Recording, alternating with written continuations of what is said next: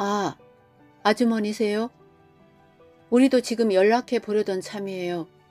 실은 그 친구가 어제 점심시간에 밥 먹으러 나가서는 회사에 돌아오지 않았어요.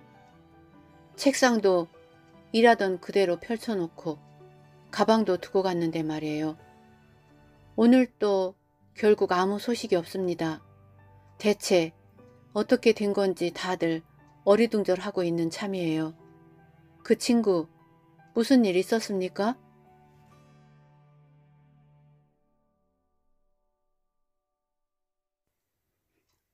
안녕하세요. 책 읽어주는 작가 김인희입니다. 오늘 소개해드릴 작품은 이화사카 게이코의 비 때때로 비입니다. 이 작품은 제26회 가와바다 야스나리 문학상을 수상했습니다. 작가 소개를 합니다. 이와사카 게이코는 1946년 오사카에서 태어났습니다. 간사이 가꾸인 대학 문학부를 졸업하고 1986년 미모사의 수풀로 노마 문예 신인상 1992년 평전 화가 고이대 나라시계 조상으로 히라바야시 다이코상을 수상했습니다. 이 작품을 시작으로 고향 오사카의 사투리를 넉넉히 풀어넣은 단편집 요도가의 강과 가까운 동네에서를 출간한 것이 작가로서 일대 전환점이 되었습니다. 이후 일상의 깊은 부분을 어루만지는 음영짙은 필치로 독자적인 단편 소설의 세계를 구축했습니다. 글을 쓰는 수작업의 온기와 치열함을 체현하는 작가로 평가받고 있습니다. 1994년에 요도가와 강과 가까운 동네에서로 무라사키 시키부 문학상 2000년에 비 때때로 비로 제26회 가와바다 야스나리 문학상을 수상했습니다. 그 밖에 매미 소리가 들리고 야마키 씨, 쇼헤이 씨 등이 있습니다. 이제 작품 속으로 들어가 보겠습니다. 편안한 시간 되십시오.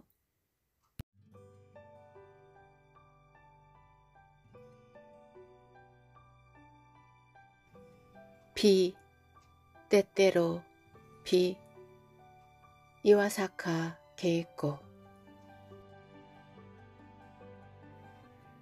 종이 몇 장이 개찰구 앞 길바닥에 달라붙어 있었다. 빗금을 그리며 내리치는 가느다란 비가 우산을 펴려고 멈칫거리는 사람들의 아랫도리를 쏴 적시고 금세 방향을 바꾸어 이번에는 역과 맞닿은 커피숍 유리문을 한 차례 쓸고 지나간다. 거의 동그란 모양의 광장 주위로 키 큰 건물들이 빙 둘러싸고 있어서 그런지 이곳에서는 바람이 도무지 예측하기 힘든 방식으로 움직인다. 해 저물녘인 데다 진한 회색 구름마저 하늘을 뒤덮고 있지만 개찰구 근처는 이상하게 환한 조명 덕분에 귀가하는 학생이며 직장인의 등에서 어딘가 들썽들썽한 분주함이 느껴진다. 우산을 비스듬히 비껴 쓰고 사치코는 광장으로 발을 옮겼다. 광장을 끼고 역과 마주한 슈퍼에서 모자란 것 몇 가지를 사가지고 들어갈 생각이었다. 집에서는 시어머니가 한참 배고픈 채로 기다리고 있을 것이다. 이제 슬슬 시어머니와 둘이 함께 사는데도 익숙해졌고 오늘 저녁에는 그녀를 위해 채소와 조개를 초된장에 묻혀 먹어볼까 하고 생각했다. 길에 달라붙은 종이에 자칫 미끄러질 것 같아 사치코는 발치에 정신을 빼앗겼다. 그 종이에는 선명하지는 않지만 사람의 얼굴인 듯한 것이 복사되어 있었다. 그걸 피해 발을 내디디려고 할 때였다. 막 목욕을 마치고 나온 것 같은 눅눅한 채취를 풍기며 어떤 남자가 쓱 그녀에게 몸을 붙이고 한 장의 종이를 내밀었다. 빈손이 없어 마냥 고개만 저 필요 없다는 뜻을 전하자 남자는 우산 밖으로 나온 어깨를 움츠리며 다른 통행인을 둘레둘레 찾고 있었다. 후줄근한 상의 주머니에 종이 다발이 꽂혀 있었지만 오늘 날씨는 전단지를 나눠주기에는 아무래도 적당하다고 하기 어려웠다. 몸의 움직임은 노인네 같은데 멀어지는 참에 언뜻 본 덥수룩한 수염의 옆 얼굴에는 뜻밖에도 그녀의 남편과 동갑쯤이거나 조금 더 젊어 보이는 비릿함이 있었다. 슈퍼 입구에서 우산을 접을 때 왠지 마음에 걸려 사치코는 역 앞에 혼잡 속에서 남자의 모습을 찾아봤지만 개찰구에 다시금 꾸역꾸역 몰려나오는 사람들 때문에 찾을 수 없었다.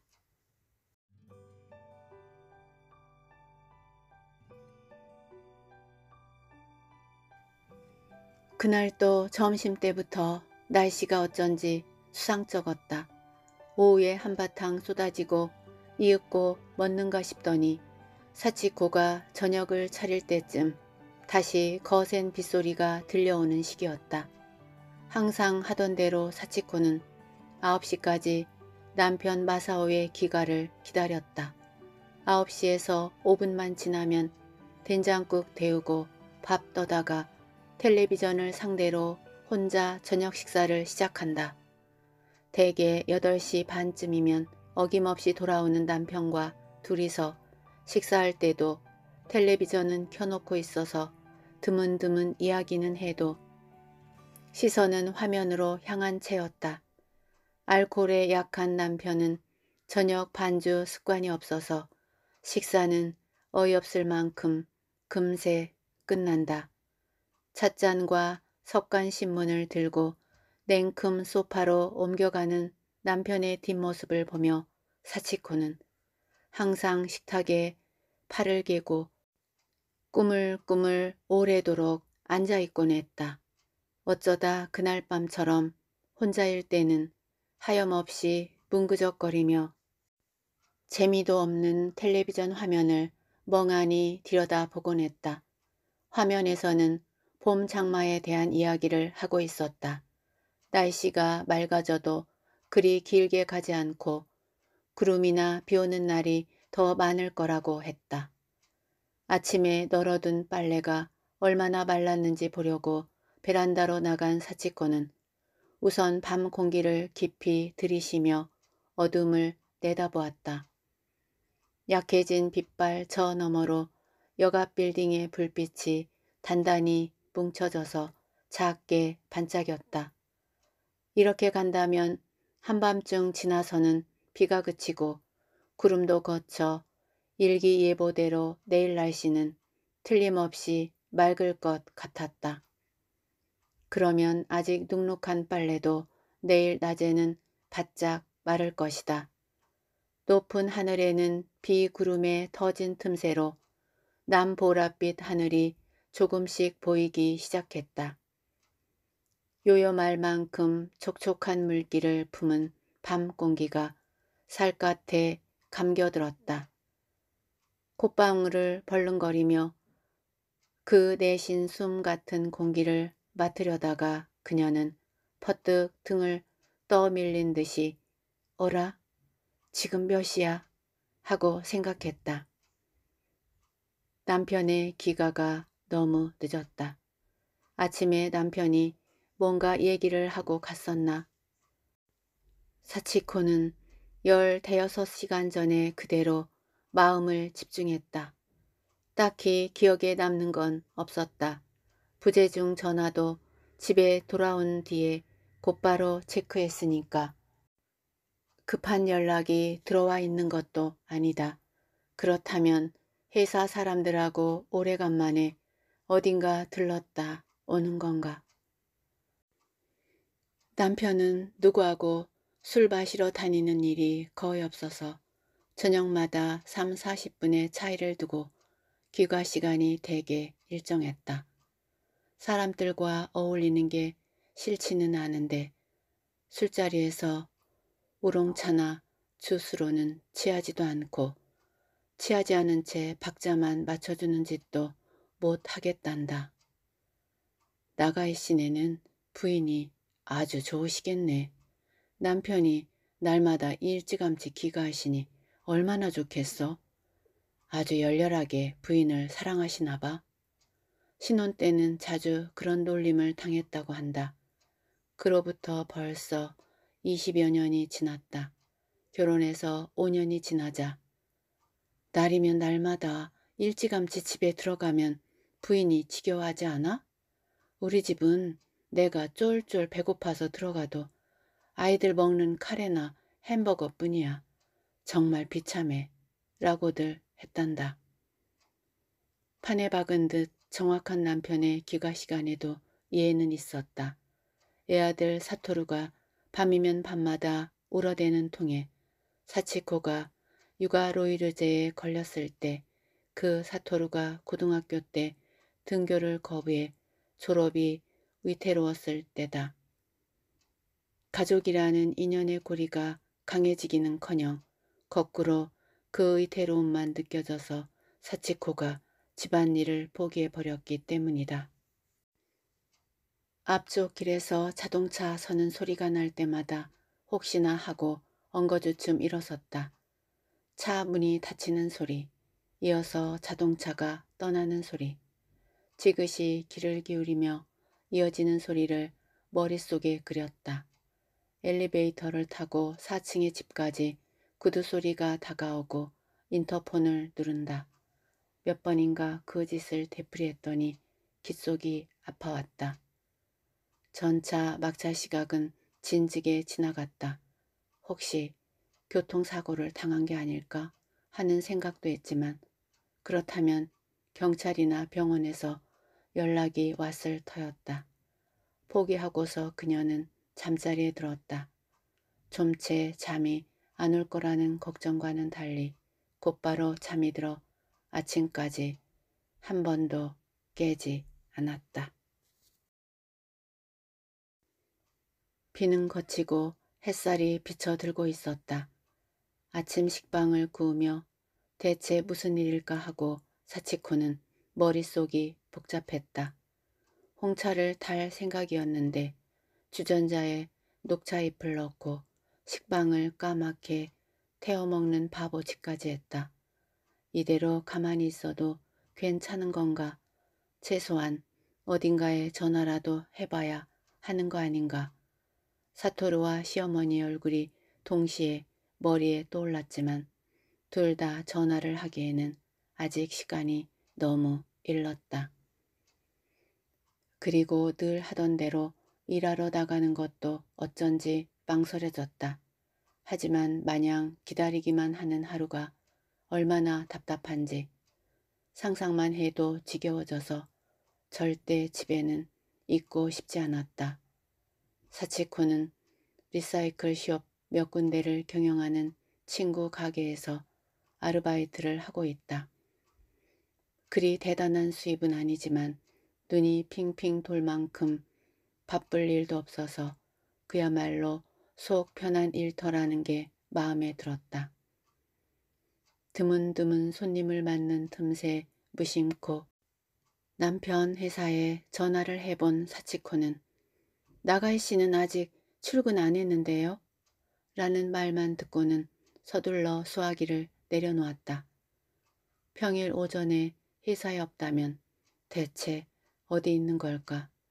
어제 아침까지는 손이 닿는 곳에 있었던 남편이 이제는 정체를 알 수 없는 타인처럼 멀게만 느껴졌다. 점심 때는 시어머니에게 전화를 넣었다. 여보세요? 저예요. 너무 오래간만에 전화드리네요. 올해로 74살인 시어머니 다키코는 연휴 때처럼 찰기 있는 낭랑한 목소리로 응했다. 그래, 너무 오래간만이다. 나 같은 건 잊어버린 줄 알았네, 뭐. 나야 그럭저럭 잘 지낸다만 혼자 사는 노인네를 이렇게 내 팽개쳐 두는 게 아니야. 그나저나 마사오는 건강하니? 도리어 되묻는지라 사치코는 시어머니에 대한 용건은 이걸로 끝났다고 생각했다. 네, 덕분에 그렇다면 다행이지만 건강 좀 잘 보살펴줘. 나이 쉰을 넘으면 이래저래 탈이 나는 법이야. 그래, 무슨 일이니? 오늘 무슨 볼 일이 있어? 아니요. 내내 연락도 못 드려서 어떻게 지나시나 하고. 그러고는 적당히 말을 돌리다가 전화를 끊었다. 덥지도 춥지도 않은 날씨였지만 짧은 대화를 나누는 동안 겨드랑이에 땀이 나 있었다. 가게 문을 열고 밖으로 나온 사치코는 심호흡을 거듭했다. 시어머니는 아무래도 거북스러웠다. 게다가 남편의 행방은 여전히 알지 못했던 채였지만 어제나 그저께와 하나도 달라진 게 없는 거리를 바라보고 있으려니 겨우 하루밖에 안 됐잖아 라는 마음도 들었다. 햇살은 바로 위에서 부드럽게 쏟아져 살갗의 땅구멍을 하나하나 열어 나가는 것 같았다. 도심에서 지하철로 한 시간가량 떨어진 역앞 삼정가의 한 기퉁이었다. 역에서 다시 버스로 10여 분쯤 들어간 곳에 사립대학의 교양학부가 이전 해온 뒤로 몰라볼 만큼 북적거리게 되었다. 아침이건 저녁이건 젊은 사람들의 얼굴이 온종일 길거리에 보이고 그 젊은이들을 위한 가게가 몇 군데나 새로 생겼다. 오래된 상점가에 활기가 돌고 사치코가 일하는 리사이클 숍에도 진열하는 상품이 달라졌다. 태평하게 거리를 휘적휘적 돌아다니는 학생들의 모습에서 지방대학에 가 있는 사토리의 얼굴이 자꾸 떠오르는 바람에 그만 할 말이 없어져 버렸지만 가게 앞에서 햇볕을 쬐고 있는 사치코를 향해 한 집 건너 양식당 환기창에서 풍겨오는 소스 냄새가 식욕을 돋우었다. 양식당이어도 좋고 가락국수 집이어도 좋다. 뭔가 따스한 것을 먹고 싶은 마음이 들었지만 도시락이 있었다. 다시 들어온 세 평 남짓한 가게 안은 조명이 켜져 있는데도 환한 바깥의 익은 눈에는 어둠 침침하게 보였다. 허누이르며 가구, 그 밖에 자잘한 물건들이 바라는 독특한 냄새로 가득 차서 창을 열고 환기구를 돌려도 때와 먼지와 곰팡이가 발효한 것 같은 공기는 물건 사이사이에 고여 꼼짝도 하지 않았다. 주전자에 물을 끓여 인스턴트 된장국을 만들고 아침에 장아찌를 넣고 몇 번 꾹꾹 지어 쌓은 주먹밥을 한 입 베어 먹었더니 겨우 정신이 났다. 날짜별로 티백 홍차에 단빵이나 야채빵 등으로 메뉴를 바꿔가며 항상 도시락, 예식은 전혀 하지 않는다. 우선 혼자서 가게를 지켜야 하기 때문에 자리를 비울 수가 없다. 가장 난처한 건 화장실이 없다는 것이어서 볼일을 볼 때는 가게 문을 잠그고 여기나 슈퍼 화장실까지 달려가야 한다.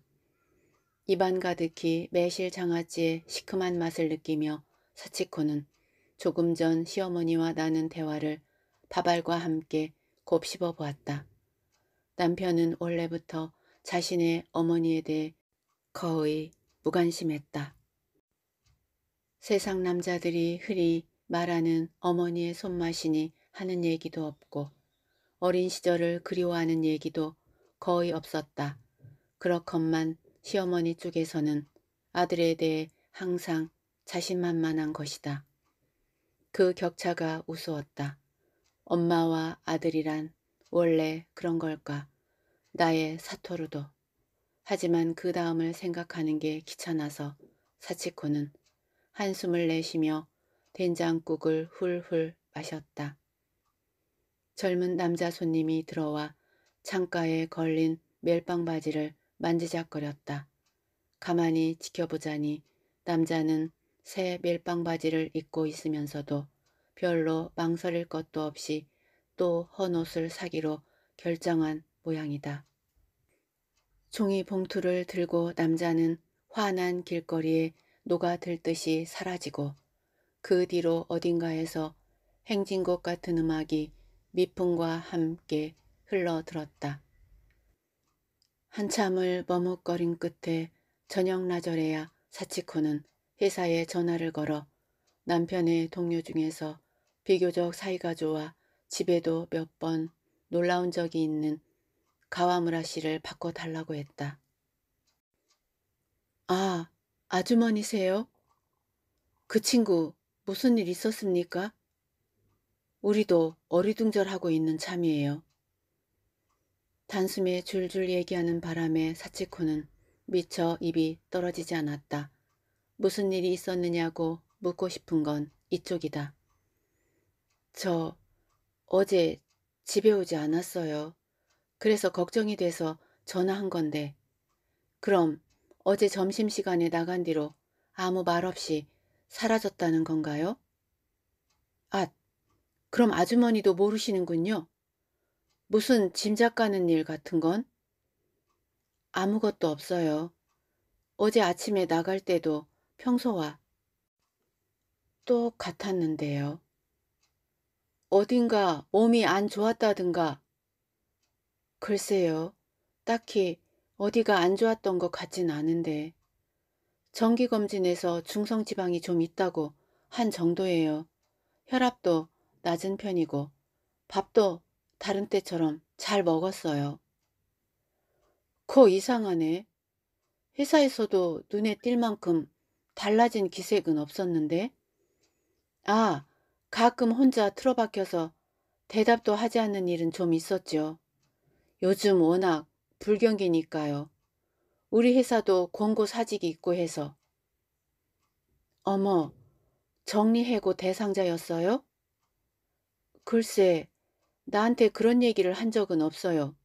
하지만 그런 거라고 해도 갑자기 사라지는 건 이상하죠? 그보다 어디서 사고나 사건에 휘말렸을 가능성이 있는 거 아닌가요? 아, 놀라시게 해서 죄송하지만 경찰 같은 데서 연락이 올지도 모르겠네요. 사치코는 내심 깜짝 놀랐지만 가와무라의 말도 맞는 말이었다. 회사 쪽에는 잘못하면 무단 결근이 되기 때문에 가와무라가 제안한 대로 아픈 것으로 해달라고 부탁하고 남편의 가방은 같은 지하철을 타는 그를 중간에서 만나 받아오기로 했다. 책상 위도 서류 펴놓고 일하던 그대로고 가방도 두고 갔다.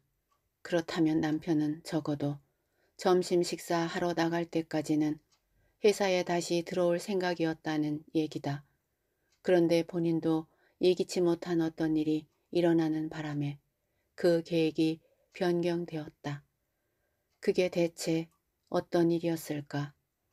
사치코는 머리를 움켜쥐고 자칫 사방으로 흩어지려고 하는 생각을 한 곳에 집중하려고 애를 썼다. 구두 소리가 마룻바닥을 울렸다.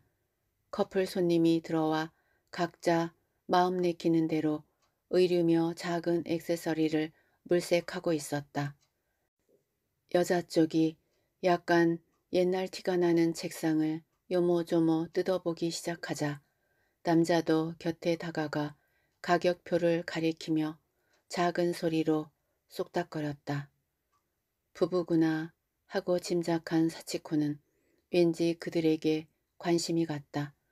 여자는 책상을 놔두고 이번에는 낡은 피아노의 의자에 눈길을 던졌다. 앉는 자리에 둘러씌운 비로드는 달았지만 다리의 목재는 묵직하게 탄탄하다. 다르륵 소리를 내며 원형 좌석이 돌아갔다. 두 사람은 얼굴을 마주보며 소리 없이 웃더니 이거 얼마예요? 라고 사치코에게 물었다. 붙여둔 가격표가 떨어져 나간 걸까? 사치코는 노트를 뒤적여 가격을 알려주었다. 예상했던 가격과 크게 차이가 났는지 두 사람은 포기한 채 아무것도 사지 않고 가게를 나갔다. 남자도 여자도 극히 평범한 얼굴형이라 그리 눈에 띄는 구석은 없었지만 사치코의 눈에는 두 사람이 무심히 주고받는 몸짓 하나하나가 남다르게 사이좋은 부부로 보였다. 가게 문 닫기 5분 전쯤에 주인이 나와서 계산과 현금을 확인하고 갔다. 친구인 아내 쪽이 오는 일도 있고 그녀의 남편이 오기도 한다. 물건 매입이며 팔린 상품의 경향, 요즘 경기 동향 같은 별스러운 것 없는 잡담을 나누다가 문단속을 한 뒤에 가게 주인은 자동차를 타고 다음 가게로 향하고 사치코는 걸어서 역으로 향했다.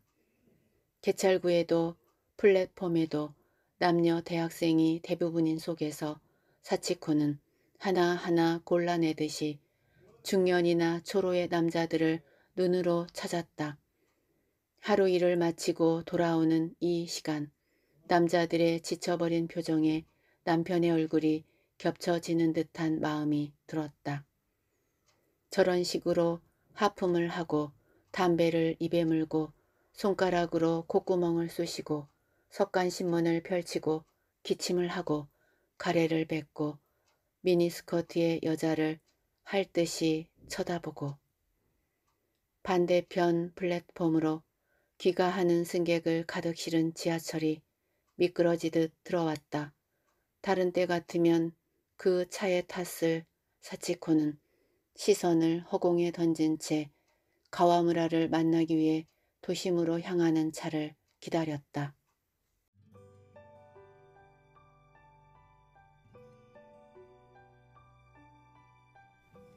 여보세요. 수화기 너머에서 대답을 망설이는 기척이 전해져 왔다. 사토루? 엄마야. 잘 지내니? 몇 초 동안의 침묵 뒤에야 겨우 무거운 입이 열렸다. 웬일이야? 응, 좀 말하기가 그렇긴 한데 혹시 요즘 아빠한테서 무슨 연락 없었니? 없었어. 전화가 왔다든가 만나러 왔다든가 없었다니까?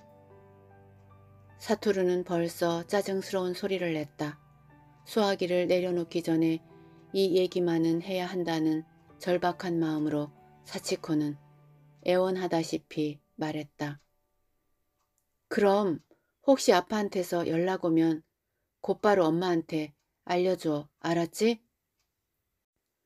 알았지? 라고 말하는 도중에 전화가 끊겼다. 사토루는 다른 현의 대학 기숙사에 가 있었다. 2년 동안 재수한 끝에 가까스로 합격한 학교다. 부모와 떨어져 살 수 있는 게 너무나 좋은지 방학에도 웬만해서는 돌아오지 않는다. 지금도 엄마가 전화한 이유조차 묻지 않았다. 남편이 자취를 감춘 날로부터 나흘이 지났다. 그의 소지품 속에서 크레딧 카드는 발견되었다.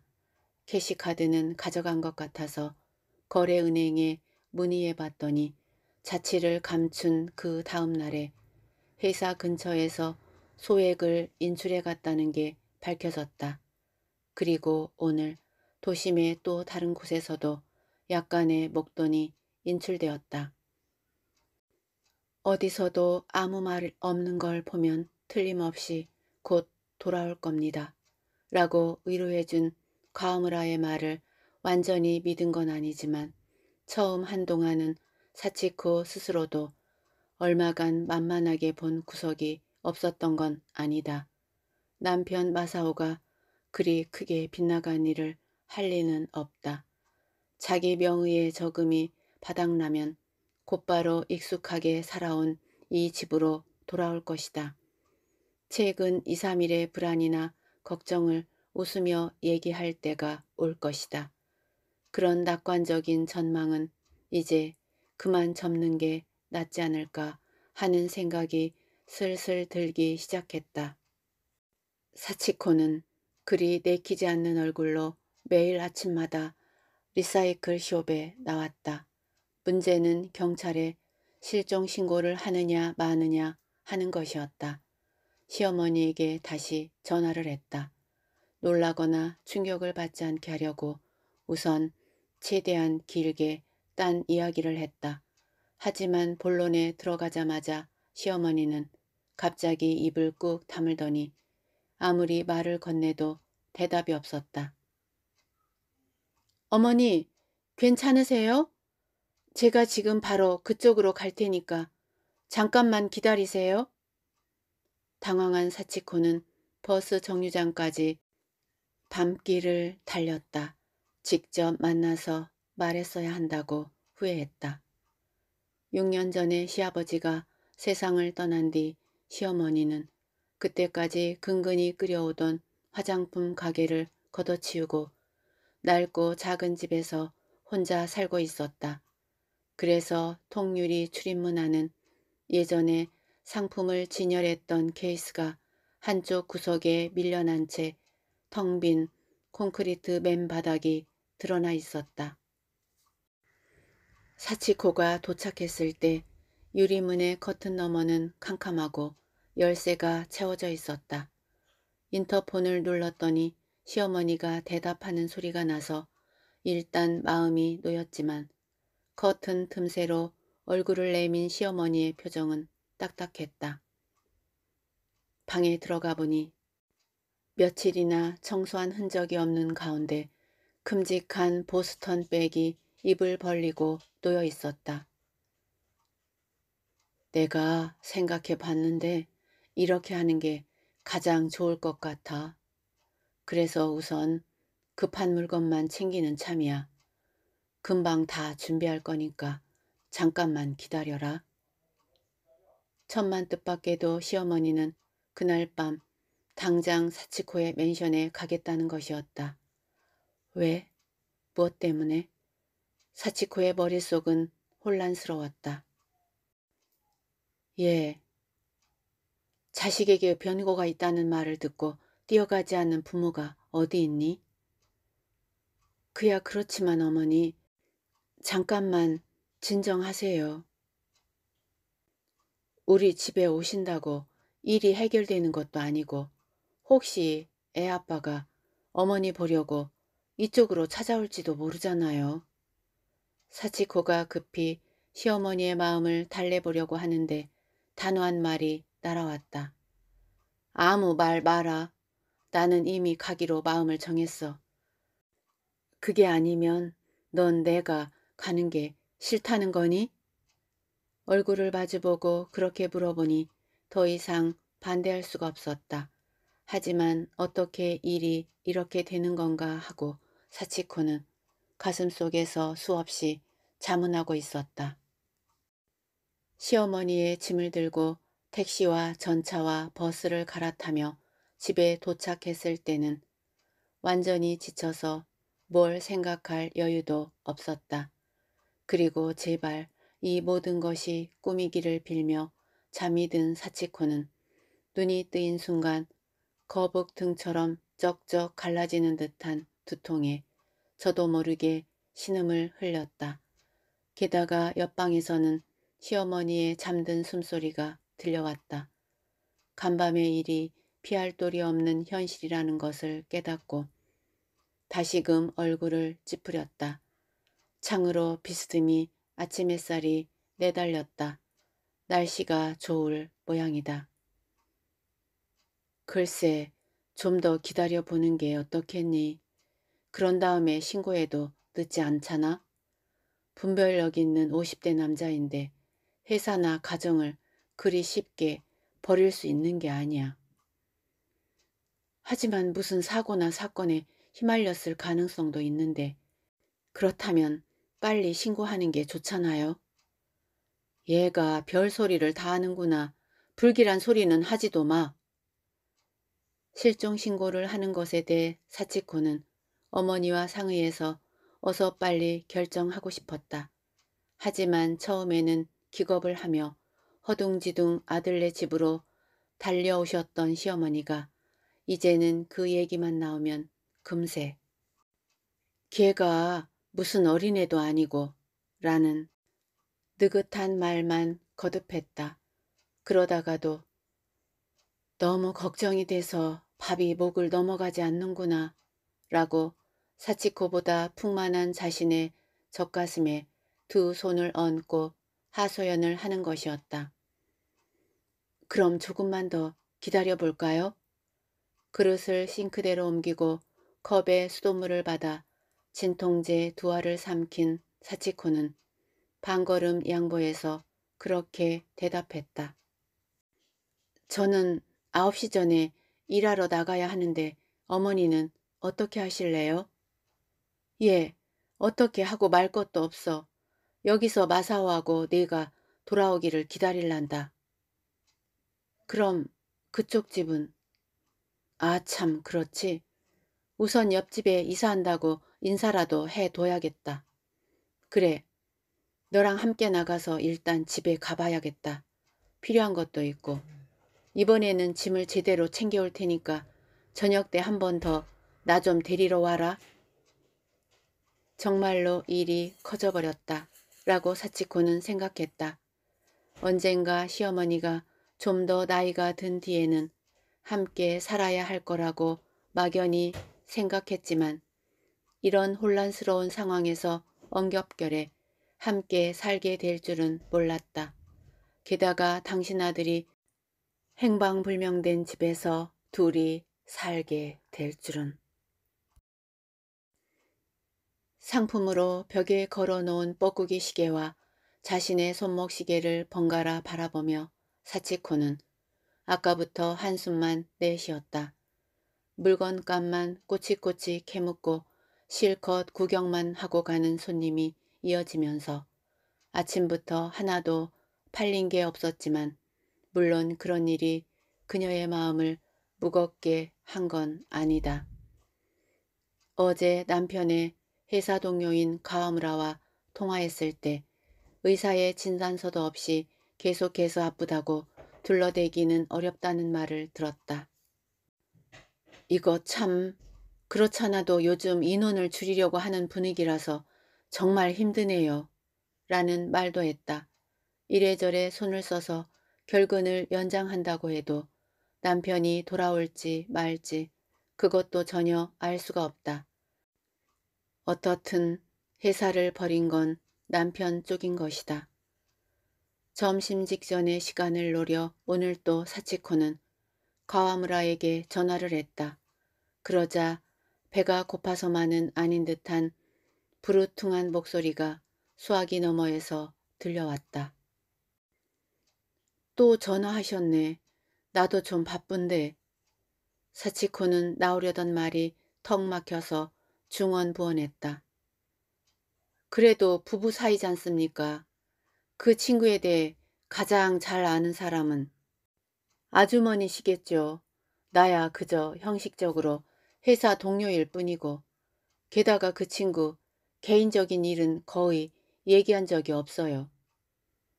미안하다고 말하고 사치코는 서둘러 전화를 끊었다. 아, 그런가? 그렇구나. 라고 뒤늦게 깨달으며 어리석은 자신이 부끄러워졌다. 남편뿐만 아니라 자기 자신까지 잃어버렸다는 마음이 들었다. 부부 사이지 않습니까? 라고 하던 가와무라의 목소리가 사치코의 귀에 달라붙어 떨어지지 않았다. 하지만 그 남편이 아내를 버리고 어딘가로 행방을 감춰버린 것도 사실이었다. 시아버지가 돌아가시고 아마 한 달쯤 지난 때였을 것이다. 결혼하기 조금 전이었는데 당신이 아버지하고 내가 꼭 닮았다고 했었지. 나는 그런 식으로는 한 번도 생각해 본 적이 없는데 요즘은 무슨 일이나 아 정말 닮았다 하는 생각이 들어.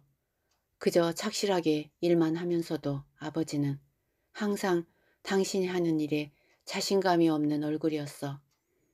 회사에 다닐 때도 그렇고 화장품 가게를 시작했을 때도 그래. 그 화장품 가게도 어머니가 먼저 하자고 해서 아버지를 따분한 셀러리맨 생활에서 빼내준 셈이지. 하지만 그런 장사는 사회적인 흐름을 잘 타지 않으면 금세 뒤처져. 무뚝뚝한 아버지가 가게를 지키는 날에는 나이든 할머니도 안 들어오는데 뭐. 처음에는 사치코를 향해 한 말이었지만 점점 누구에게 말한다는 것도 없이 자조적인 느낌으로 그런 얘기를 하는 남편의 얼굴을 사치코는 새삼 찬찬히 뜯어봤었다.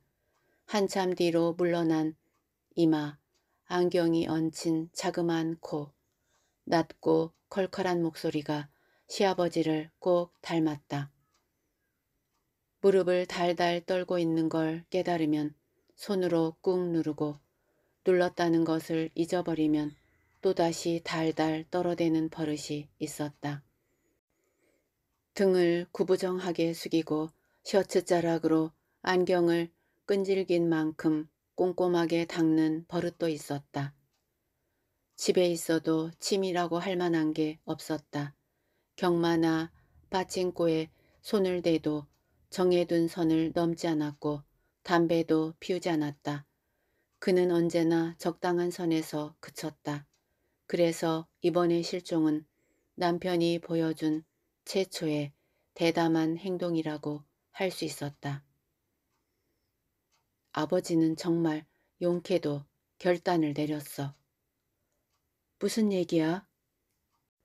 회사 말이야. 셀러리맨 딱 그만둔 거. 나라면 어떻게 했을까? 당신은 어떻게 생각해? 어떻게 생각하냐니. 당신이 지금 회사 그만두면 곤란하지. 소파에 책상 다리를 하고 앉아 손톱을 깎던 남편의 얼굴 표정은 사치코 쪽에서는 볼 수 없었다. 그리고 이야기는 그걸로 그만 끊겼었다. 부부 사이잖습니까? 그 말이 방아쇠가 되어 사치코는 문득 그런 대화들을 선명하게 떠올렸다. 작은 한마디 말이며 정경이 거품처럼 기억의 밑바닥에서 떠오르자 덩달아 또 다른 거품이 떠오르고 이윽고 의식의 수면에 거품의 꽃이 피어나는 것 같았다. 가게 전화가 울렸다. 아주머니, 가와무라예요. 조금 전에는 제가 말이 좀 지나쳤네요. 미안합니다. 그래서 말인데요. 내가 여기저기 좀 물어봤더니 실종 신고를 하는 것도 괜찮지만 두세 가지 미리 확인해 두는 게 좋겠다는군요. 아, 여보세요? 이런 말씀 드리기는 좀 그렇지만 그 친구에게 혹시 여자가 있었는가? 그리고 사채 빚은 없었는가? 그 두 가지예요. 저기 지금 몹시 힘드시겠지만 그래도 기운 내세요. 자, 그럼 이만. 가와무라는 거의 대답할 틈도 없을 만큼 일방적으로 말을 마쳤다. 여자, 사채빚, 신문이나 텔레비전을 떠들썩하게 하는 그런 말이 번쩍번쩍 빛을 내며 사치코의 내리를 뛰어다니는 한편으로 명치언저리의 맹렬한 우이통의 징조가 느껴졌다. 돌아가는 길에 시어머니 집에 들렀다. 중간에 약국에서 위장약을 사서 그 자리에서 먹고는 진땀을 흘리며 지하철을 갈아타고 갔다. 목을 빼고 기다리던 시어머니는 사치코에게 잠시 쉴 틈도 주지 않고 종이봉투 두 개를 들이밀더니 자신은 보퉁이와 가방을 들고 꼼꼼하게 한 바퀴 돌며 문단속을 하고는 그대로 걸음을 옮겼다. 맨션에 도착한 사치코는 짐을 내려놓자마자 주저앉아 버렸다. 하지만 시어머니는 자기가 쓰겠다고 정한 방에 냉큼 짐을 가져다 놓더니 두 손을 허리에 짚고 어라라 하는 표정으로 말했다. 내가 점심때부터 아무것도 먹질 못했어. 이 늙은이가 차 한 잔 못 얻어먹고 그냥 자야겠니? 멍한 얼굴로 사치코가 올려다보니 말과는 달리 시어머니의 눈은 웃고 있었다. 죄송해요. 지금 차려드릴게요. 사다 놓은 게 없어서 남은 걸로 그냥 먹어야겠네요. 주전자를 가스불에 올려 차 준비부터 해놓고 냉장고를 열어보았다. 반찬이 담긴 밀폐용기를 꺼내고 유부 두 장과 무 한 조각을 찾아냈다. 차를 끓이고 남은 뜨거운 물에 유부를 데쳐 기름을 빼고 된장국을 할까 말까 망설이다가 볶음을 하기로 했다. 무는 강판에 갈아야지. 딴 여자가 있었나? 바로 옆에서 시어머니의 중얼거리는 소리가 났다. 화들짝 놀란 사치코는 책갈에 손가락 끝을 쓸려버렸다. 저런 그렇게 놀랐니? 하지만 어떤 남자라도 방심할 수 없는 법이야. 마가 끼는 일도 있잖니. 그런 융통성 없는 남자가 도리어 더 위험해. 여자의 감으로 뭔가 느껴지는 거 없어? 손에 휴지를 말다가 사치코는 무거운 입을 열어 낮에 가와무라에게서 걸려온 전화 얘기를 들려주었다. 물기 뺀 유부를 오븐 토스터에 펴 놓는 동안 좁은 주방에서 두 사람은 입을 꾹 다문 채서 있었다. 이윽고 사치코가 억양 없는 목소리로 이야기하기 시작했다. 제 생각에는 가하무라 씨가 말한 두 가지 중 어느 쪽도 해당이 안 되는 것 같은데 그렇다고 딱히 부부 사이가 좋았던 것도 아니라서 자신은 없지만요.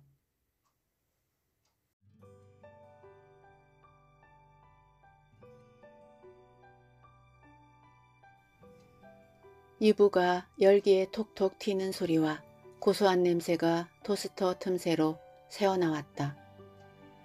뭐가 뭔지 하나도 모르겠어요. 말을 마쳤을 때 타이머가 찡 하는 소리를 냈다. 아유 냄새가 아주 맛있게 나는구나. 무즙 얹고 간장 좀 뿌리자. 그때까지의 분위기를 일소하는 어딘가 신이 난 듯한 시어머니의 목소리였다. 대운밥과 반찬에 유부를 차려낸 식탁에 둘이 마주 앉았다. 맛있다. 김이 나는 찻잔을 손에 들고 시어머니가 방글방글 웃었다. 네, 맛있네요. 사치코도 덩달아 미소를 지었다.